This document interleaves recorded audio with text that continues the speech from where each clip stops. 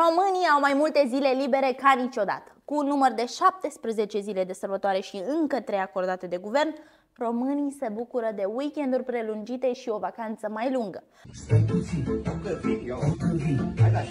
Ai spune că sunt multe, că a fost darnic guvernul, însă atenție, multe dintre sărbătorile astea cad în weekend și aia e, pierzi ziua aia liberă. Bă, dar fiecare sâmbătă trebuie să fac curat, să-și motruim?